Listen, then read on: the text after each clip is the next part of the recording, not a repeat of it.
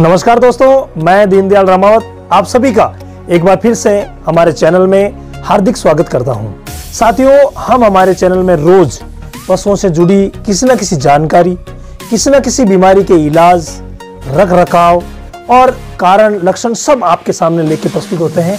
उसी प्रकार से आज मैं बकरों को मोटा तगड़ा करने का जो आपको उपाय बताने वाला हूँ, जो आपको खाद्यान्न बताने वाला हूँ यानी उनको हम ऐसा क्या बांटा दें, जिनसे कि हमारे बकरे एकदम से हेल्दी रहे और हेल्दी अगर बकरे रहेंगे तो हमें उनका अच्छा दाम दोस्तों, जैसा कि मैंने आपको पिछले वीडियो में बकरों को दिए जाने वाले संतुलित आहार के बारे में बताया था, वो वीडियो आई बटन में उपलब्ध है, आप देख सकते हैं।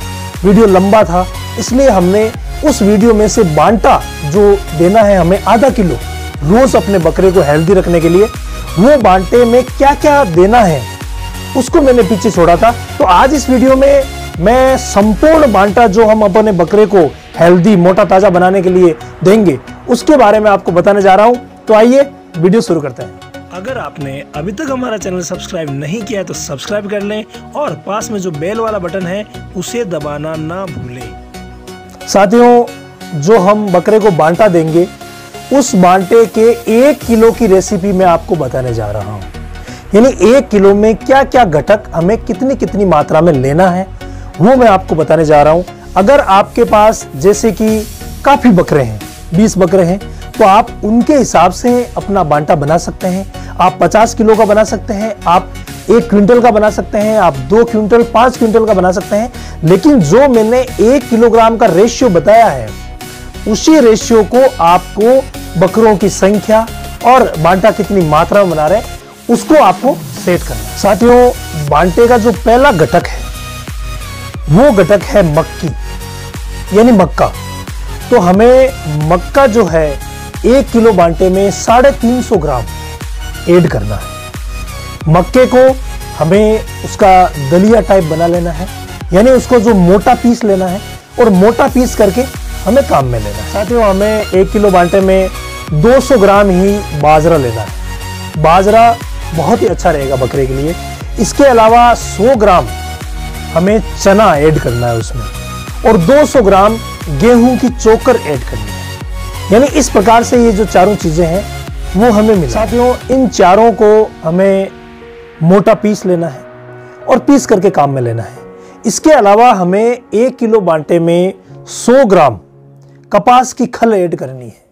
जो कि बकरे की हेल्थ के लिए बहुत ही अच्छी रहेगी, वो हमें सिर्फ़ 100 ग्राम ही लेनी है और उसको भी हमें बारीक कर लेना है, यानी बिल्कुल छोटे छोटे टुकड़े कर लेने हैं। इन पाँचों के अलावा हमें मिनरल मिक्सचर ज़रूर ऐड करना है। और मिनरल मिक्सचर ज़्यादा की ज़रूरत नहीं है, एक किलो के पीछे आप 30 ग्राम मिनरल मिक्सर ऐड करें। किसी भी अच्छी कंपनी का मिनरल मिक्सर जिसमें कि सारे के सारे विटामिन और मिनरल्स हो, कम से कम 25 से ऊपर के। ताकि वो आपके बकरे के सारे के सारे विटामिन और मिनरल्स की पूर्ति आसानी से कर सके। इसके अलावा साथियों, हमें थोड़ा सा यानी एक किलो में 10 ग्राम नमक भी ऐड करना है।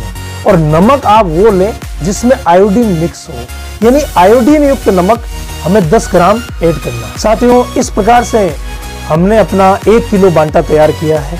जैसा कि मैंने पहले बताया है, आप अपने पशुओं की क्वांटिटी के आधार पर जो हम बाटा बना रहे हैं, उसकी मात्रा को आप डिसाइड कर सकते हैं।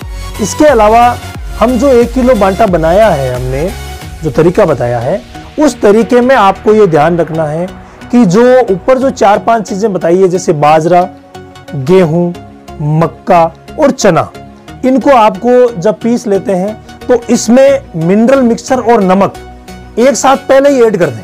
यानी आपने अगर एक क्विंटल बंटा बनाया है तो उसको तिरपाल पर रख करके और इन सभी चीज़ों को मिला लें। लेकिन उसमें खल ना मिलाएँ। खल जो है, वो हमें अलग रखनी है और खल हमें रोज जब देते हैं, जब ये बनता तो उस समय आधा घंटा पहले या एक घंटा पहले आप उसको भिगो दें।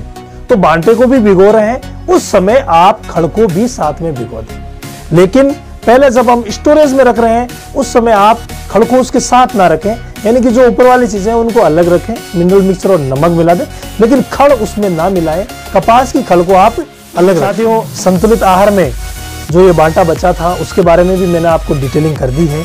ये बांटा हमें बकरे को रोज आधा किलो देना है जो फुल बड़ा बकरा है। अगर किसी का वज़न ज़्यादा है तो थोड़ा बहुत आप बढ़ा भी सकते हैं कोई दिक्कत नहीं है।